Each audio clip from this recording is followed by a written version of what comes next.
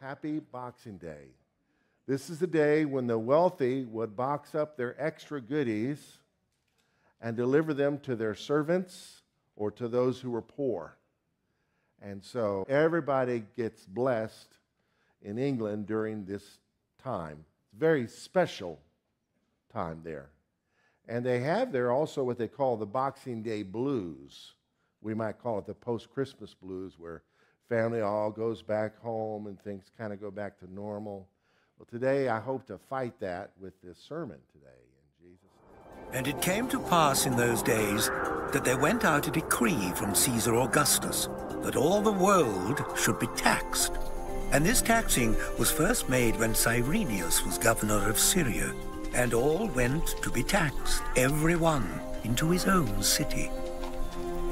And Joseph also went up from Galilee out of the city of Nazareth into Judea unto the city of David, which is called Bethlehem, because he was of the house and lineage of David, to be taxed with Mary, his espoused wife, being great with child.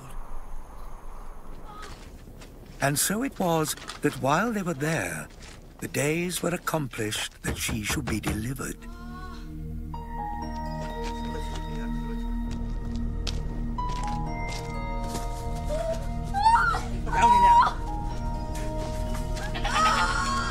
She brought forth her firstborn son.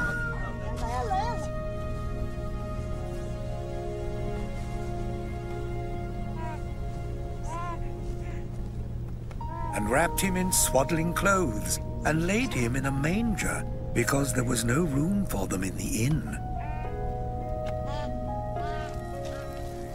And there were in the same country shepherds abiding in the field, keeping watch over their flock by night. And lo, the angel of the Lord came upon them, and the glory of the Lord shone round about them, and they were sore afraid. And the angel said unto them, Fear not, for behold, I bring you good tidings of great joy, which shall be to all people. For unto you is born this day in the city of David a Saviour, which is Christ the Lord. And this shall be a sign unto you. Ye shall find the babe wrapped in swaddling clothes, lying in a manger. And suddenly there was with the angel a multitude of the heavenly host, praising God and saying, Glory to God in the highest, and on earth peace, goodwill toward men. And it came to pass, as the angels were gone away from them into heaven, the shepherds said one to another, Let us now go even unto Bethlehem, and see this thing which is come to pass, which the Lord hath made known unto us. And they came with haste, and found Mary and Joseph and the babe lying in a manger. And when they had seen it, they made known abroad the saying which was told them concerning this child. And all they that heard it wondered at those things which were told them by the shepherds. But Mary kept all these things and pondered them in her heart. And the shepherds returned, glorifying and praising God for all the things that they had heard and seen, as it was told unto them. And when eight days were accomplished for the circumcising of the child, his name was called Jesus, which was so named of the angel before he was conceived in the womb.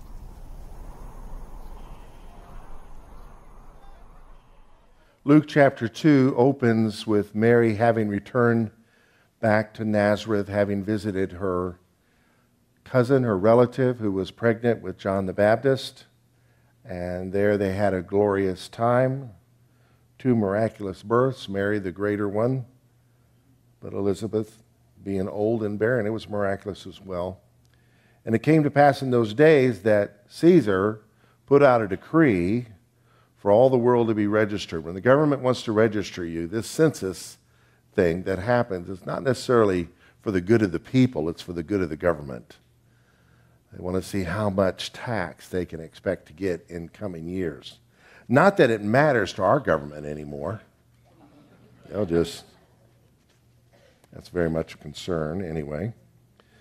This census first took place while Quirinius was governing Syria, this has been debated because Quirinius is a character that appears more strongly in history after all this.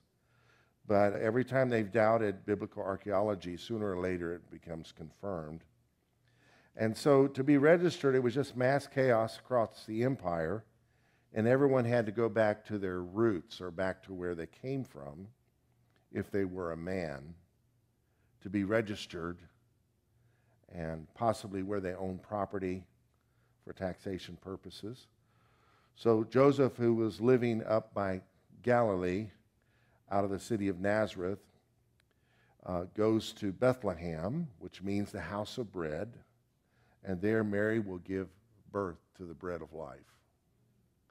He's a stone made without hands, and there he will be laid in a stone manger or bed, a feeding trough, a tub.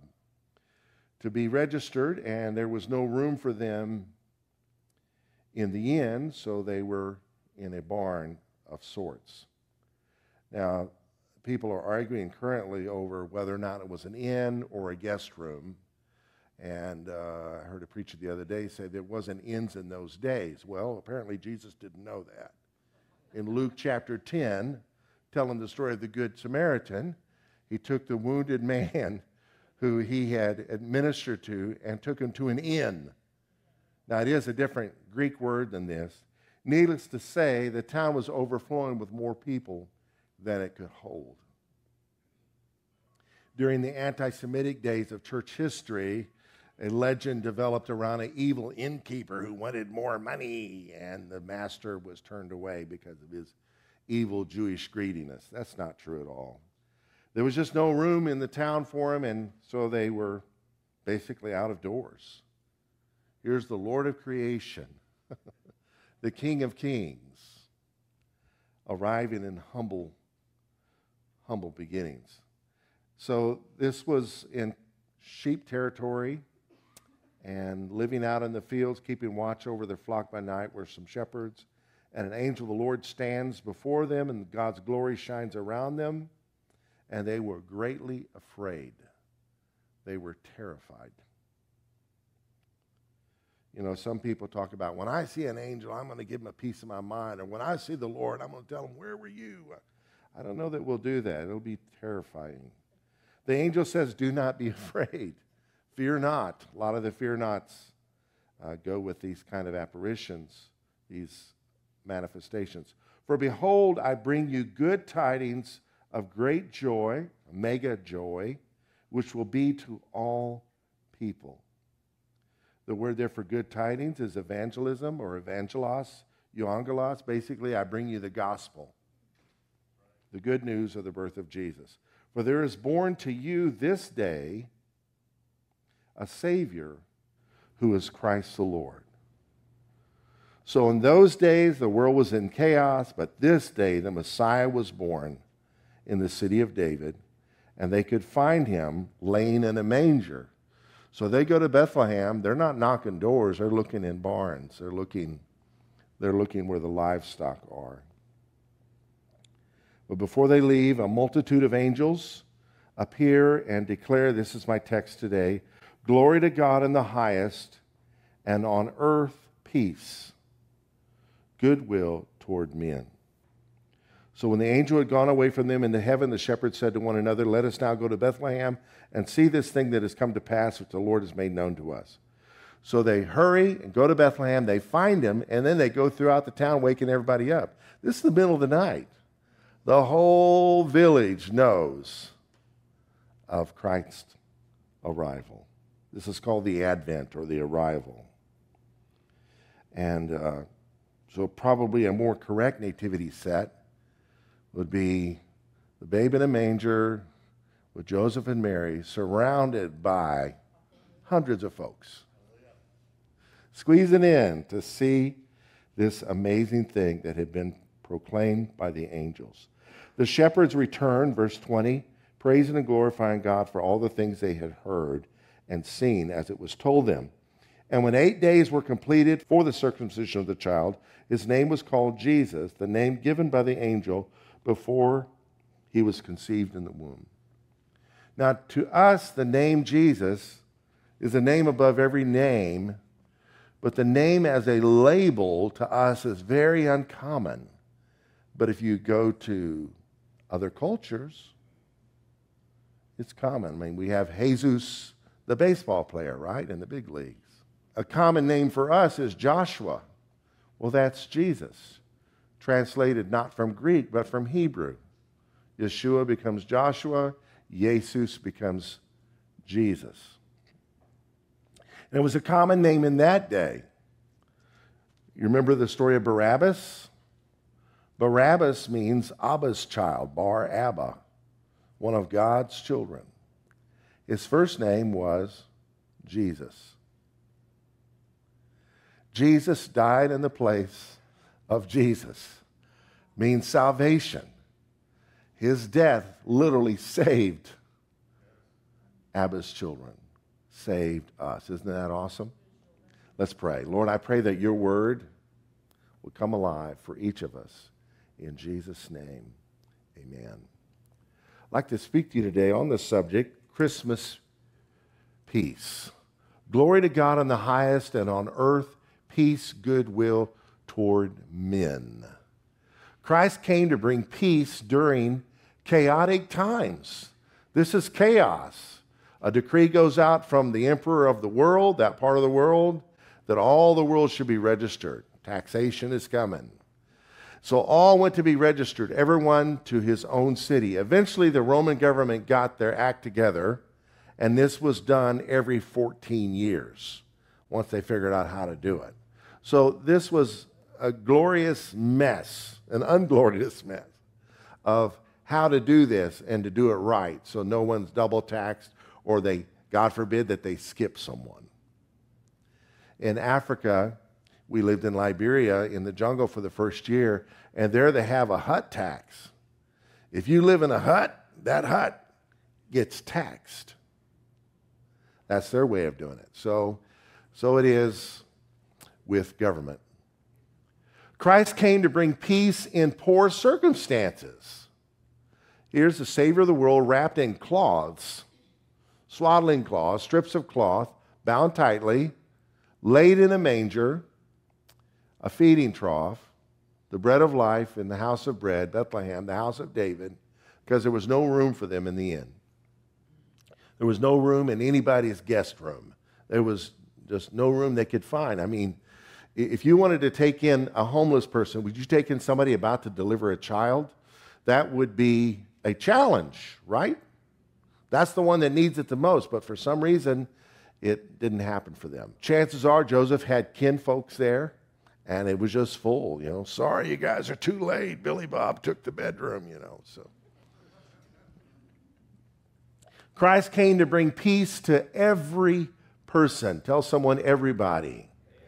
Do not be afraid, for behold, I bring you the gospel. I bring you good tidings of great joy, which will be to all people. I believe the gospel is for everybody. Everybody. Not a select few, all people. Christ came to bring peace in spite of opposition. Within two years, they had to flee to Egypt. Arise, Matthew 2:13, take the young child and his mother, flee to Egypt and stay there until I bring you word, for Herod will seek the young child to destroy him. So here's a savior of the world who's come to bring peace to the world. He's being opposed. He's in poor circumstances. They were not in a stable during these days, and is in chaotic times. Must have been real chaos. I mean, they're still there after a couple years. Jesus does not depend on circumstances to give us peace. In John 16, 33, he said, These things I have spoken to you, that in me you may have peace. So our peace is in him, it's not in circumstances, it's not in our bank balance. It's not in our pedigree or our degrees, it's in Christ. In the world, you will have tribulation. You can take it to the bank. You don't have to name it and claim it, stab it and blab it and kill it and chill it. You can just trust me, it's going to happen. But be of good cheer. I have overcome the world. He walked in peace in the midst. You slept in the middle of a storm. Well, it was just a lake storm. No, trust me. Lake storms can get bad. Who remembers years ago we had a boat that, you, that was a, a floating dining room? It was made like a steamer. What was that thing called? A storm hit the lake. It was about to sink that thing. And the, the pilot or captain had to put it in reverse. It was paddle wheel driven. Put it in reverse and just go against the wind with that paddle wheel. Uh, they almost lost it, but they overcame it. Storms are severe. And Christ, sleep. Is at peace. There's peace in the midst of the storm in Him. So you're rattled? Are the conspiracies true and untrue rattling you? Our peace comes from the Lord. Amen. Christ came to bring peace through true humility. This is how he maintained his peace. He had laid down his pride, all reason to be proud. He laid it down. You couldn't threaten him. You couldn't slander him and it get to him. He knew who he was, but he laid it down. Look at Philippians 2. Have this mind among yourselves. This is instruction to us. This is the mind of Christ, which is yours in Christ Jesus, who, though he was in the form of God, did not count equality with God a thing to be grasped. He was God. He didn't have to hold on to who he was. He was. But he made himself nothing. No reputation, the King James says.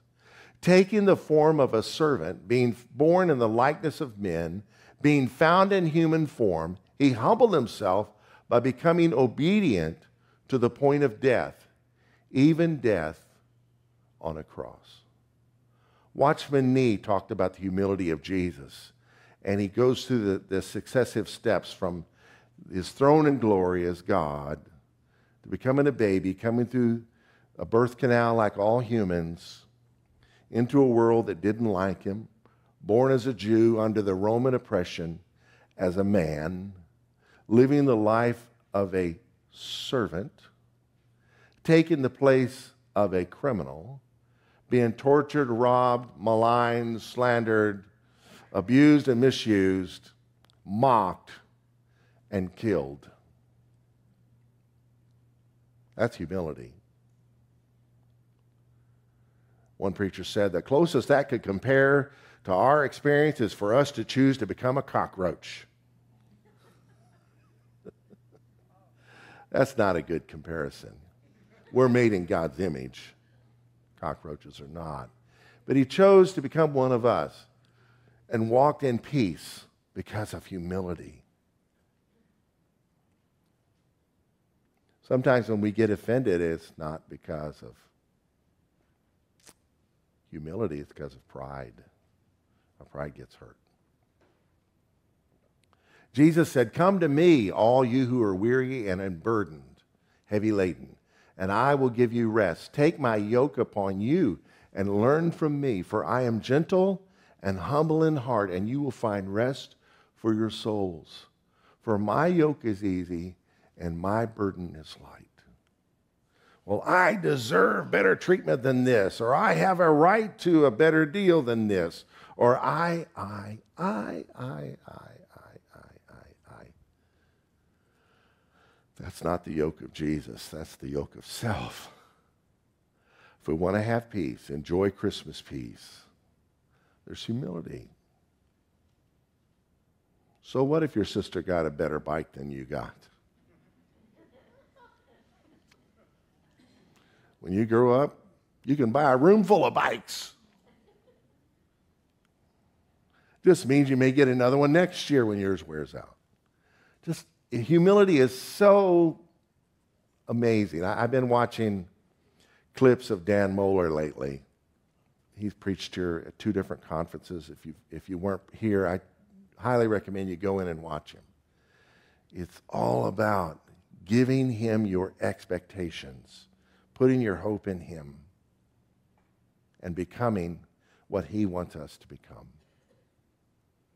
Christmas peace. Well, this generates two questions. One is something Jesus himself said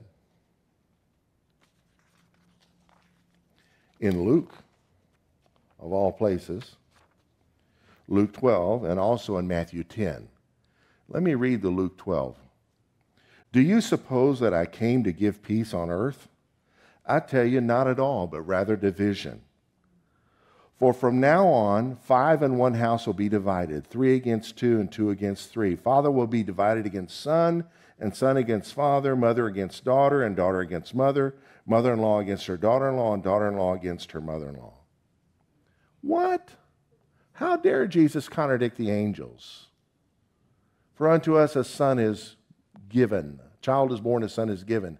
His name will be called Wonderful Counselor, the Mighty God, the Everlasting Father the Prince of Peace.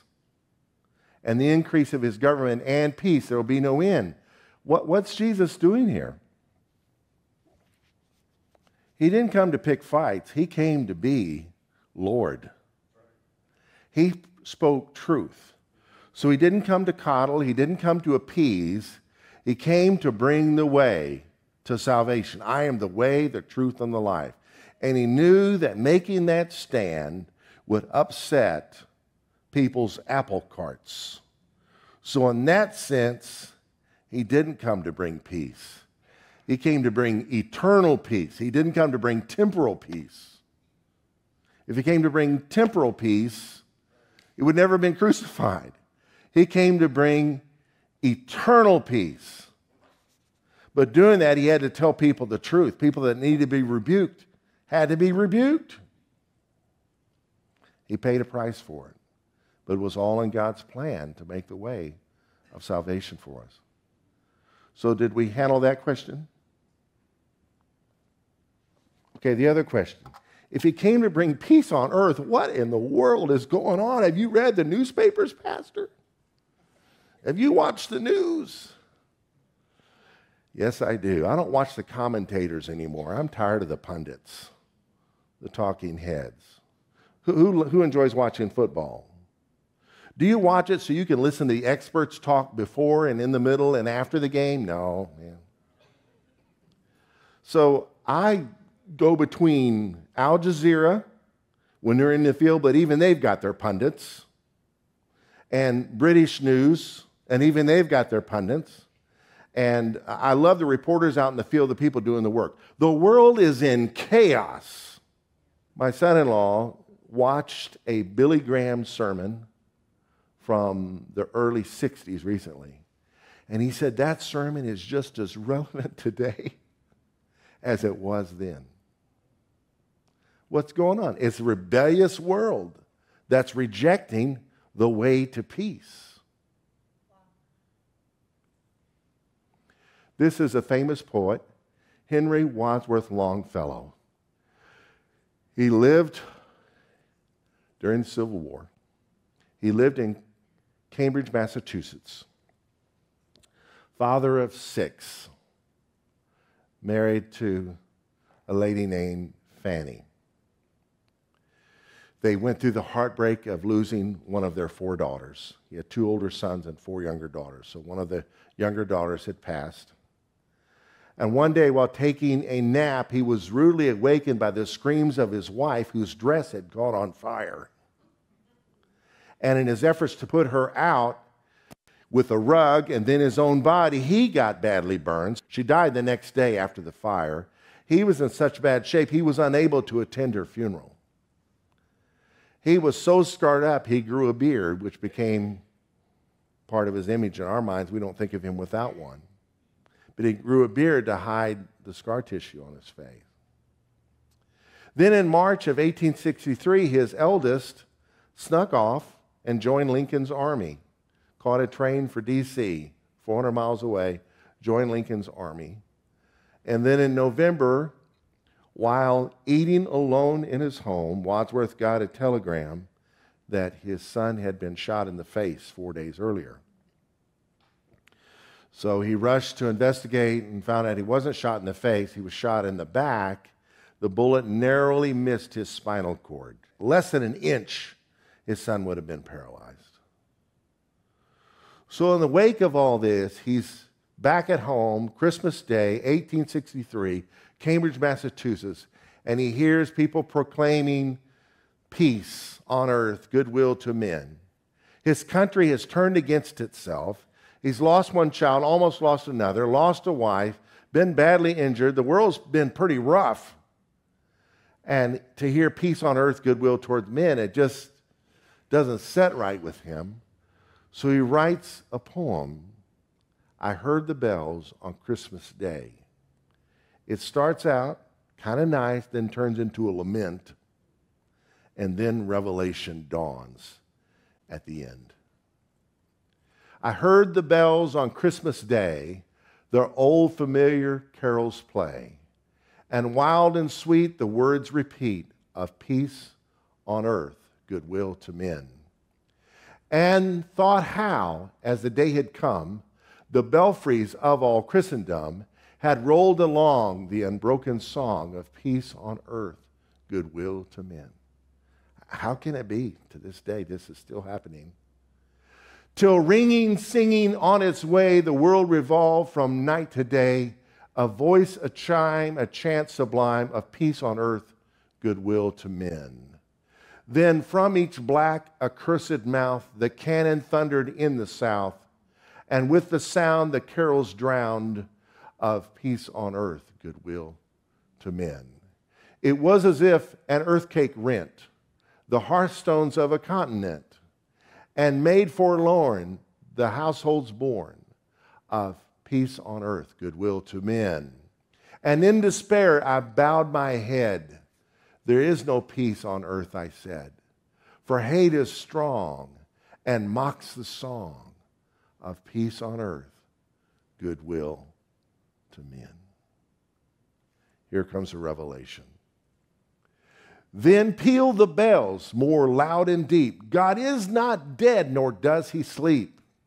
The wrong shall fail, the right prevail, with peace on earth, goodwill to men. Two years later, someone put music to it. Here is Casting Crowns singing their version of the song.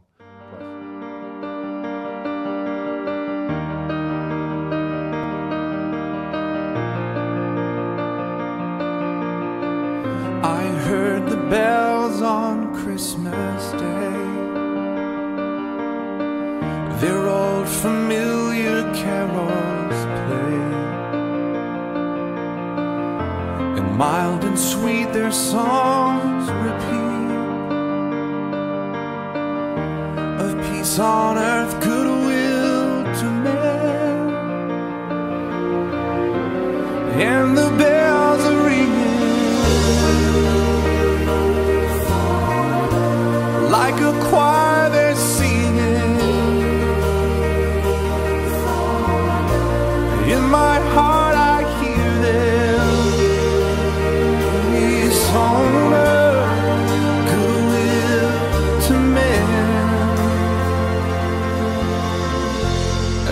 despair I bowed my head.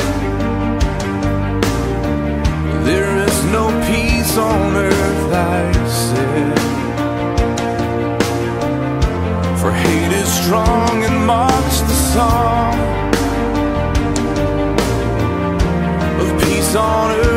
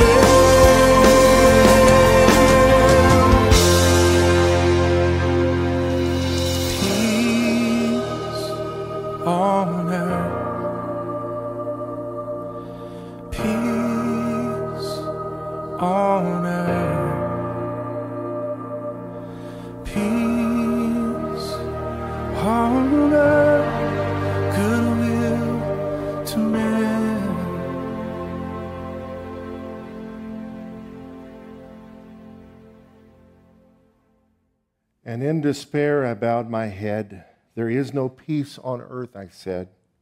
For hate is strong and mocks the song of peace on earth, goodwill to men. Then pealed the bells, more loud and deep. And this is what he heard the bells say in his poem God is not dead, nor does he sleep. The wrong shall fail, the right prevail, with peace on earth, goodwill to men. Who's ready for the return of Christ? Lord, make Christmas Day pale in light of that great day. In Jesus' name, amen. Have hope, folks. The story's not over. Keep pushing through. Thank God for the tastes of heaven that we get. Is hot chocolate a taste of heaven or what? Have you ever had Mexican hot chocolate? Oh my goodness. Woo. Take instant hot chocolate, put it in real milk. Yeah, it's awesome. Well, thank you so much for worshiping with us today. I'm going to pronounce a blessing and release you, but I'd like to do a little something different. Notice today we didn't do our handshaking time. I thought we'd do it at the end where nobody will say, ah, shame, man. Just let you go. How about it? It'll be to the bluegrass sounds of the Petersons singing a more traditional version of I Heard the Bells on Christmas Day. May the Lord bless you and keep you. The Lord make his face to shine upon you and be gracious to you. May the Lord lift up his countenance upon you and give you peace in spite of chaos, in spite of tough times. Peace in Christ is yours, and he is enough. You're enough, Lord. Amen. Go get him, Tigers. Have some fellowship.